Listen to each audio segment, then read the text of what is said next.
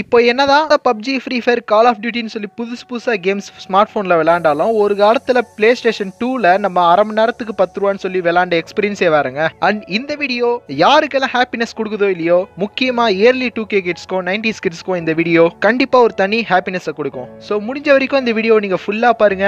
So நான் தான் உங்கள் kick style welcome to Gypsy Comics here comes the pain இந்த கேமை பற்றி அட என்னங்க சொல்கிறது இந்த கேமுக்காகவே வீட்டில் எப்படியாவது பத்து ரூபா காசை திருடியாவது நம்ம விளாடுவோங்க வீட்டில் ஃப்ரெண்ட்ஸு பிரதர்ஸ்னு சொல்லி யாராவது இருந்தாலும் அவங்களே சேர்த்து கூட்டிகிட்டு வந்து ரெண்டு பேருமே ராக்கு ஜான்சன் சொல்லி விளாடுவோம் பாருங்க. அந்த எக்ஸ்பீரியன்ஸுங்க வேறுங்க.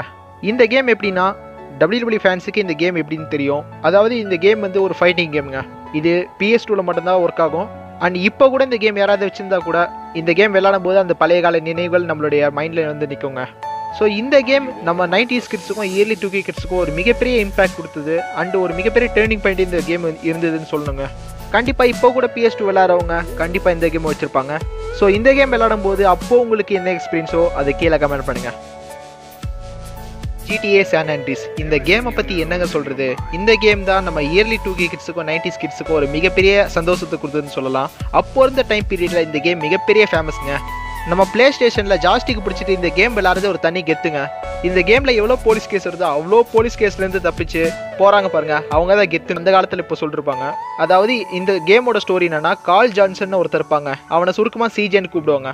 ரெண்டு போலீஸ்காரங்க அவனை ஏமாற்றி ஒரு இடத்துல விட்டுருவாங்க. ஸோ கடைசியாக அவன் அந்த போலீஸ்காரங்க விட்ட ஊரில் ஒரு மிகப்பெரிய டானா எப்படி வருவான்? ஸோ அதுதாங்க ஸ்டோரி இப்போ என்னதான் ஜிடிஏ ஃபைவ்னு சொல்லி பிஎஸ் ஃபோரில் விளாண்டாலும் அந்த ஜிடிஏ சாண்டர்டிஸ் விளாண்ட எக்ஸ்பீரியன்ஸே வேறுங்க. இந்த கேம் விளையாடும் போது உங்களுடைய எக்ஸ்பீரியன்ஸ் என்ன? அதையும் கீழே கமெண்ட் பண்ணுங்க. நம்ம தெரிஞ்சுக்கலாம். காட் ஆஃபர் டூ இந்த கேமை பற்றி என்னங்க சொல்கிறது இந்த game one of the famous கேம்னு சொல்லலாம். அண்ட் எல்லாருக்குமே ஒரு பிடிச்ச கேரக்டர்னா நம்ம கிரேட்டோஸ்னு சொல்லுவாங்க இப்போ என்னதான் காட் ஆஃப் ஆர் ஃபோர்னு வந்தாலும் எல்லாருமே காட் ஆஃப் ஆர் சீரீஸில் எந்த கேம் பெஸ்ட்டுன்னு சொன்னால் நம்ம காட் ஆஃப் ஆர் டூ தானே சொல்லுவாங்க. இந்த கேம் விளையாடுறதுக்காகவே எல்லாருமே விழுந்தடிச்சு ஓடுவாங்க. ஏன்னா இந்த கேமுக்கு அந்த அளவுக்கு அந்த காலத்தில் ஃபேன் பேஸ் இருந்திருக்குது. என்னுடைய பர்சனல் எக்ஸ்பீரியன்ஸில் நான் சொல்லணும்னா இந்த கேம் விளாட்றதுக்காகவே கிட்டத்தட்ட நான் மூணு மாதம் காசு சேர்த்து வச்சுருந்தேங்க. கிட்டத்தட்ட எப்படியே நான் நூறுரூவா சேர்த்து வச்சிட்டேன். ஆஃப் அன் ஹவருக்கு பத்து ரூபானா கிட்டத்தட்ட இந்த கேம் மட்டும் நான் அஞ்சு மணி நேரம் விளாண்டுருக்கேங்க அப்போ கூட இந்த ஸ்டேஜ் என்னால் முடிக்க முடியல. ஸோ இருந்தாலும் இந்த கேம் எல்லாருக்குமே ஒரு ஃபேவரட்டான கேம் சொல்லலாம். அண்ட் எல்லாருக்குமே ஒரு பிடிச்ச கேம்னு கூட சொல்லலாங்க. இந்த கேம் இப்போ கூட விளாண்டாலும் விளாண்டு போயிட்டே இருக்கலாங்க. எத்தனை வாட்டி விளாண்டாலும் சலிக்கவே சலிக்காது. அண்ட் இந்த கேமோட ஸ்டோரி என்னென்னா கிரேட்டோஸ்னு ஒருத்தர் இருப்பாங்க.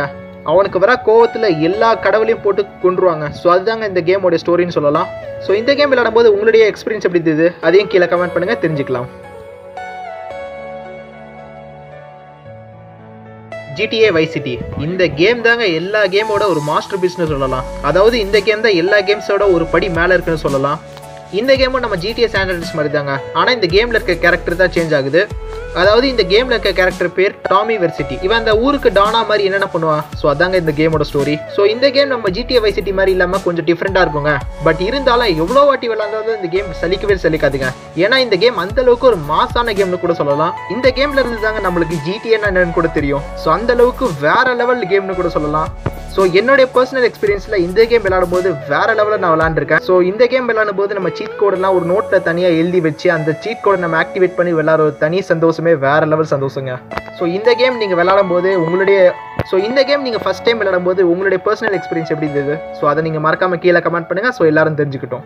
ஸோ இந்த கேம்ஸை நீங்கள் திரும்பவும் பார்க்கும்போது உங்களுக்கு எந்த மாதிரி எக்ஸ்பீரியன்ஸ் இருந்தது? அதை நீங்கள் மறக்காமல் கீழே கமெண்ட் பண்ணுங்க. ஸோ எல்லாரும் தெரிஞ்சுக்கிட்டோம். ஸோ இந்த வீடியோவுக்கு நீங்கள் எந்த அளவுக்கு சப்போர்ட் பண்ணுறீங்களோ இந்த சீரீஸ் நான் கண்டிப்பாக தொடர்ந்து பண்ணுவோங்க. ஏன்னா இந்த வீடியோஸ்க்கு நீங்கள் எவ்வளோ சப்போர்ட் பண்ணாதான் எனக்கு ஒரு சின்ன மோட்டிவேட் மாதிரி இருக்கும். ஸோ மறக்காமல் கீழே இருக்கிற அந்த லைக் பட்டனை ப்ரெஸ் பண்ணுங்கள் ஸோ சின்ன ஒரு மோட்டிவேஷன் மாதிரி இருக்கும் எனக்கு. So see ya next video love you all guys bye thank you